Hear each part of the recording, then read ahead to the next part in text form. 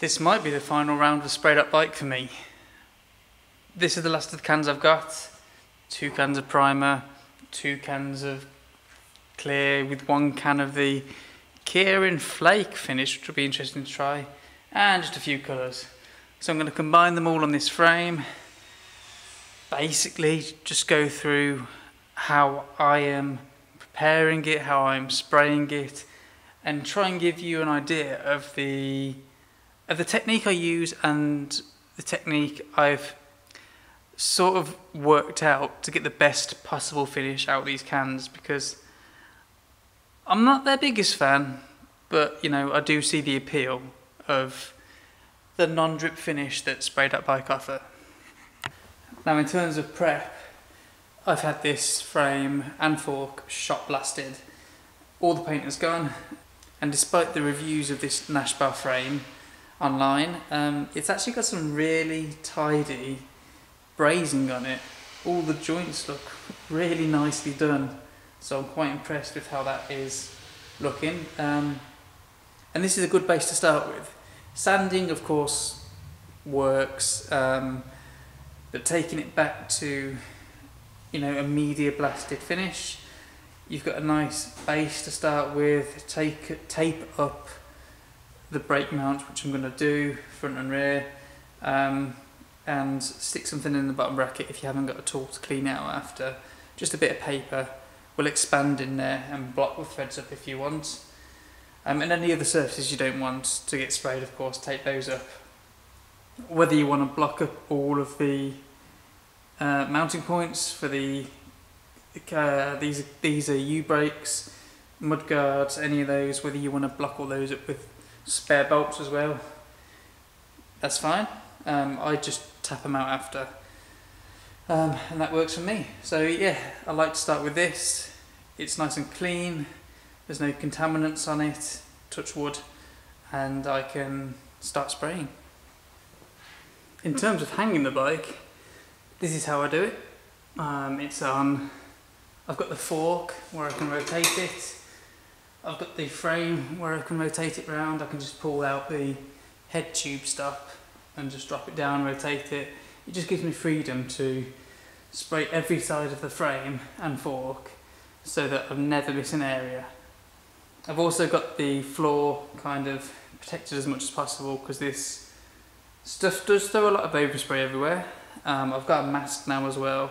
I've got a fan in this room where I can turn it on. So make sure the place is ventilated. Make sure you've got protection down on stuff you don't want to spray. And I'd say make sure you can rotate the parts so you can spray all areas. First up, I'm just going to use up some of the zinc frame builders, frame builders cold zinc primer. Um, now this is zinc primer is normally a rust preventative primer. Um, I have used this before. You've got to be careful with it. You've got to control the speed, not go too slow on it because I found that if it starts to build up on itself, it reacts. Um, now that could be the propellant in the paint reacting to itself, bubbling away, boiling off yeah, but I found a fairly quick motion on this does the job. Don't let it build up with this one and spray from, I don't know, maybe 30 centimetres, 20 to 30 centimetres. You can't get close with this because again, if you get close, it builds up and it reacts.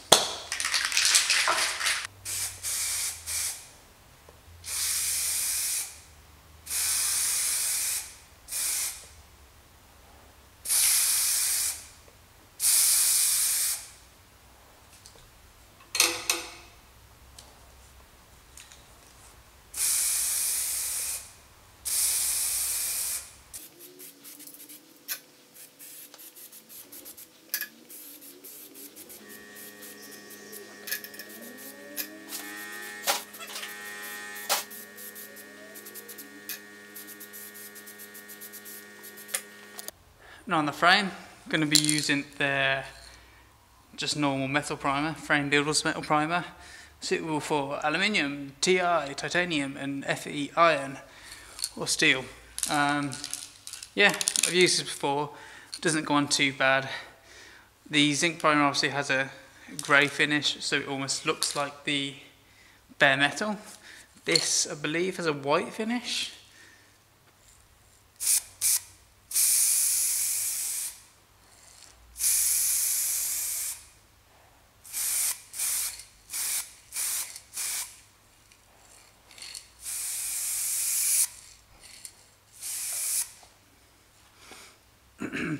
Now this one is a bit more liquidy than the other one as you can just tell and it's actually a grey finish. Don't know what I was on about with white. But yeah, so you can go a little bit thicker with this. Um, it gives a bit, bit, bit of a better finish as standard, whereas the zinc is quite dusty. So I'd probably go for this one over the zinc, but the zinc, in theory, gives a better a better rust protection.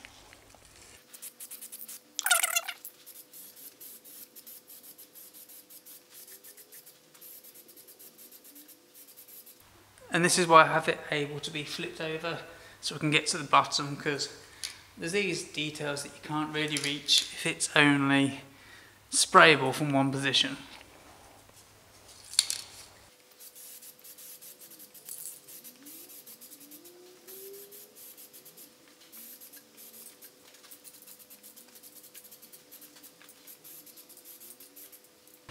Okay, so in terms of coverage, one can will roughly do a frame and a fork for a fairly even one coat.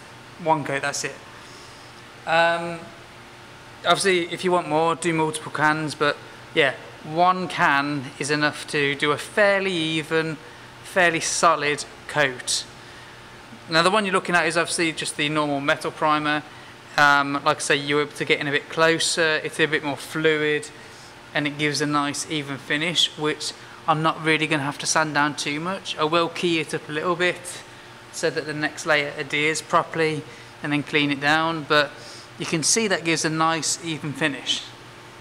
Whereas the zinc primer, and I can't really zoom in too much more than that, it gives a really rough, dusty finish. It's not it gives a textured finish basically. Um, and it's not too hard to sand down but it's not ideal. It's not it's not all that great the zinc. So if I was to go one for Spray.Bike I would definitely go with the normal frame builders metal primer. Uh, the zinc one I would just cross off my list because the finish on this it, it just requires more sanding basically. But these are going to be left to dry now for about 24 hours I'll key them up and then I'll go on to the next coat. Now when we start talking about the colours, what I've found is the blacks, you know the nice solid colours go on pretty well, but the fluoro colours like this pink, I know it's not fluoro actually, the bright colours tend to be a bit dusty, just from my experience. Um, I've also found out that if you spray this colours at a of normal distance, you know, a good like 20 centimeters away maybe, they do produce more dust. It's like the particles, the spray dries in the air before it hits it and it does get dusty. So I think the trick with the colours is to try and get in close, but you obviously have to monitor how thick you're spraying it because even if you, even though this paint is sort of a non-drip formula, if you spray too much on one spot, it is going to drip a little bit. So, you'll see others, they're getting close, get the work done. Um, I've seen like squid bikes on Instagram, they get right up close there. So, I think that's the trick with it, to get in close um, and see how it goes.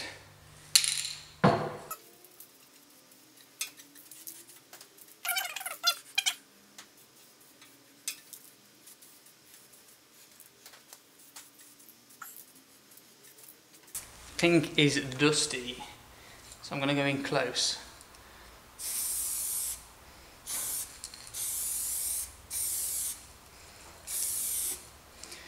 Uh, yeah, of course I'm just spraying straight over to the purple, so that's not going to work, is it?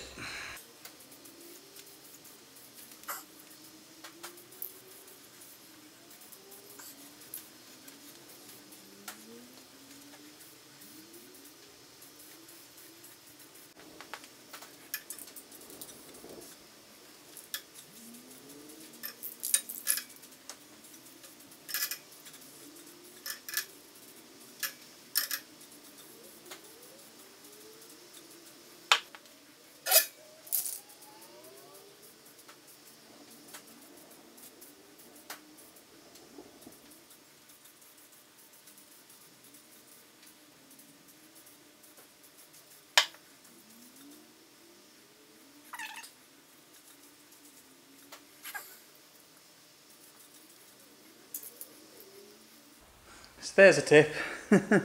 As I've learned on the job, if you're doing this sort of two-tone fade, I've got purple in the inside and pink on the outside. Do the outside first, then do the inside, because obviously spraying on the outside, I sprayed onto the inside, but I can't spray onto the outside by doing the inside. Got it? Yeah, so spray outside first, then inside. But I've got right up close with those, and they're not looking too powdery. It feels a little bit, but it's not as bad as it was before. What this isn't on the cans, by the way. Um, there are instructions for Spray.Bike on their website how to use it it does say to rub it down after sort of like with um, parchment like uh, grease with paper something like that. Um, a lint free rag I think is also on there which apparently you know just buffs up the paint. So I'm going to do that as well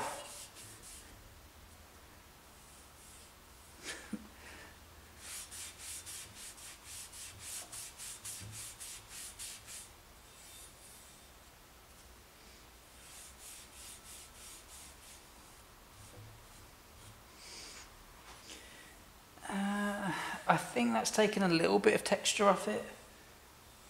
I can, I mean, it's not a perfect, it's not a perfect blend. There's still some like spatter over it, but yeah, it is, it is a little bit better, giving it a little buff. I guess it um, just flattens it out and pushes any of the pushes any of the rough particles into the slightly soft paint. Yeah, okay, so there you go. Make sure you give it a bit of a rub down after. So I've done a bit of masking, got 10 inches masked off from the end of the dropouts um, to or the point. I've got a blue line separating each and I actually just got grab some lettering decals off eBay. Someone made them up. I just asked them to make Nashbar and they made them up. So I have sprayed the down tube in a bit of a fade and then put the decals over the top so I can peel them off after. Oh, and the head tube's taped up as well. So, top coat now, and again, like the colours, it seems to be best to get in very close with this, give the can a good shake getting close because um, the further away you are the drier it becomes before it hits the frame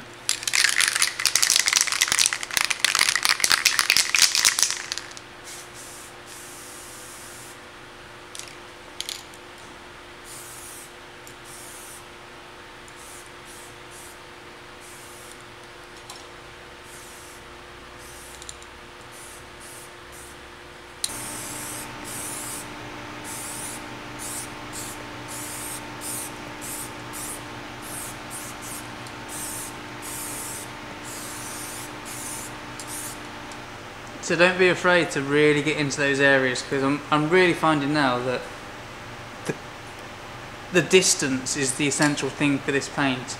Um, I can really get in close, it doesn't seem to be running and what I've done so far isn't, isn't powdery at all.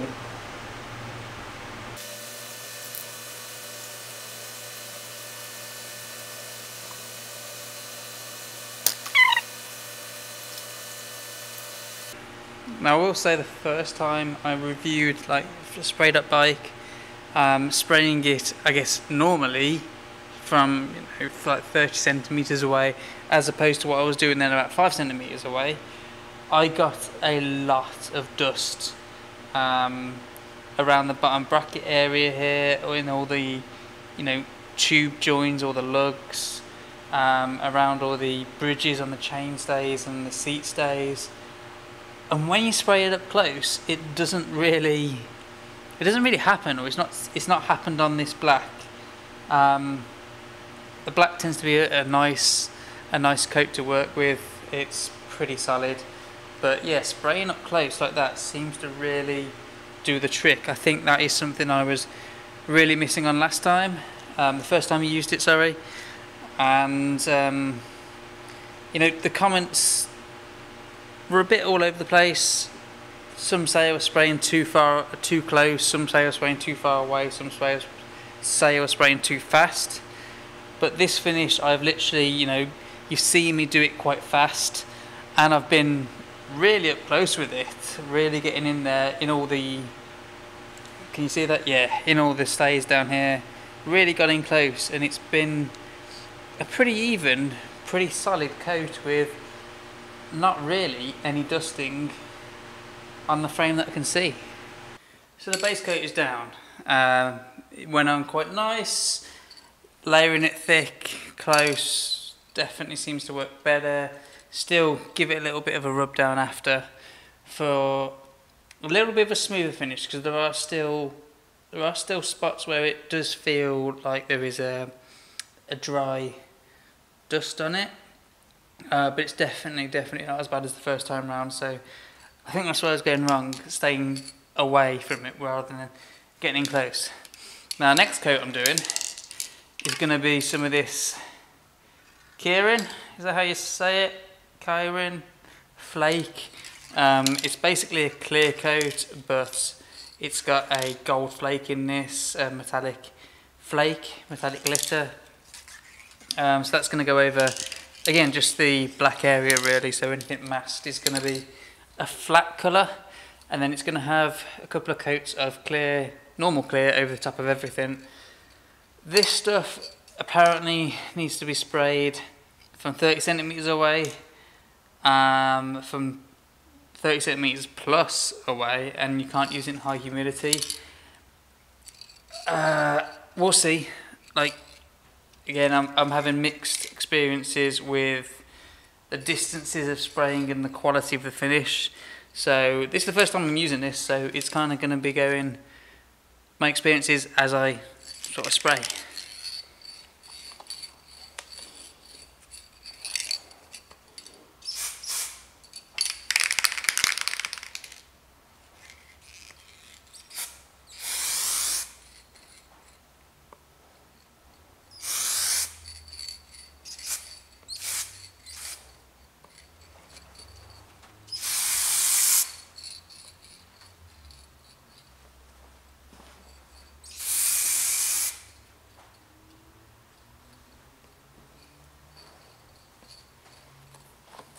So the first couple of passes is definitely lay, laying down, you know, quite a bit of glitter for the pass. I'm doing it quick and it seems to be covering, you know, well. It's doing a nice glossy layer on it. Um, if you, there are a couple of patches that I've just, I've just sprayed the down tube as well, not that you can see that really, but there were a couple of patches that are just paused, slowed my hand momentarily and it quickly built up. So the pressure in this can is quite a bit. So I guess that's why they say to spray it from far away, from 30 centimeters plus.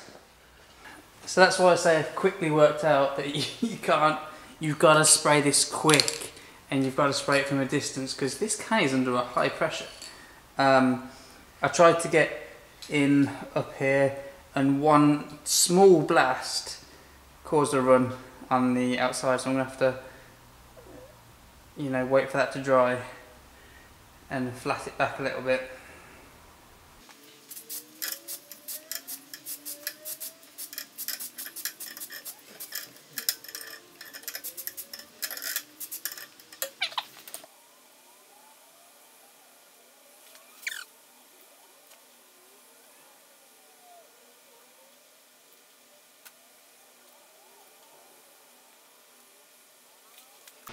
transparent frame builders finish to finish off.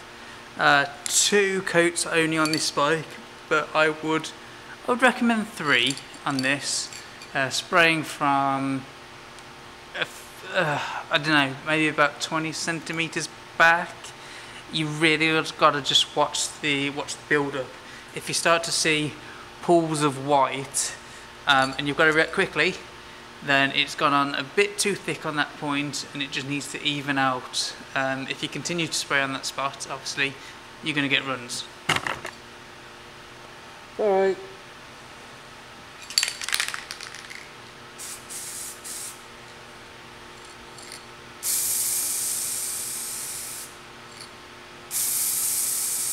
Like that. As demonstrated there.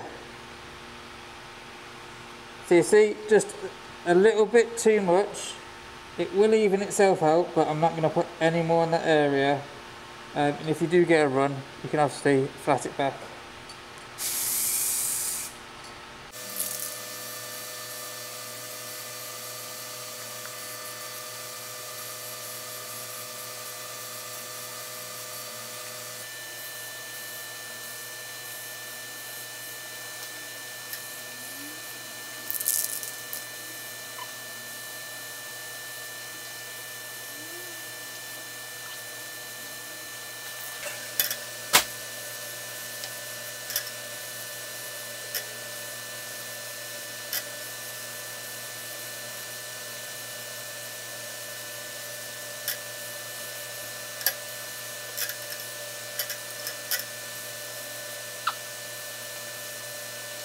And there we have it. Second coat's on, technically the third for the black I guess.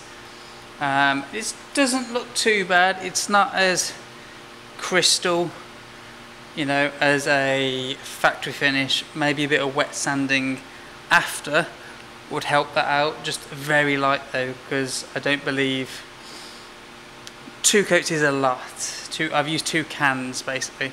Um, on a previous one, on the, what have I just done? On a previous one, on the Scott, I actually used three cans and that gave a, a much smoother finish. So it's meant to be one can for a satin finish, two cans for a gloss finish, and then anything extra, you're sort of um, building up the gloss, building up the protection. So that is three cans. I'm fairly happy with it. Yeah, so I've learned a bit, but we will see the finished result, I guess, when it's all dried and in the daylight back at home. And there we go, a couple of weeks later, and we're back home. It's dry, I think. Um, you do really have to give it some time to, some time to harden. Uh, the clear, even after a week, um, I'd left it I just actually put it in my spare room on the carpet, um, and the area that was touching the bottom bracket, the tips of the fork, actually stuck to the carpet a little bit, just from just from sitting there. So yeah, it definitely takes some time for the clear to harden, two, three, four weeks maybe, fully. Um, it will be dry to the touch, obviously, but not fully. Like if you clamp, if you clamp your derailleurs on um, it might leave an indent. So something to be wary about. Um, all in all, yeah, I have definitely learnt something about the Spray.Bike paint. The first time I used it, I definitely hadn't got a grasp of how it was meant to be used, and I think the directions uh, might be a little bit off. Like you really have to spray it on close for the colours at least. I don't like the zinc and I would rather go for a clear, a 2k clear top coat rather than using two or in this case kind of three cans of clear Spray.Bike for the top coat. I'd just rather use one can of 2k. Um, it, yeah, but the colours the colours are okay. Let's let, yeah they, they haven't been too hard to use once you get the hang of them. Um, and admittedly, I might have been a little bit harsh in my first review, but I still stand by that I do prefer, I do personally prefer other paints. So I think that is about it. Um, my second, I guess, honest review. Try and incorporate things I have learned using the paint, using other paints, and getting a better finish. And it definitely has got a better finish. I've had more success this time round, and oh, as you can see, it's a bit more creative as well. If you want to see this bike, then make sure you subscribe and do all that jazz because the build will be coming out soon. The full build, that is. And um, yeah, if you like the content, just keep on watching, like it, share it, comment, engage, and I'll um, I hope it helps. But I'll catch you in the next one.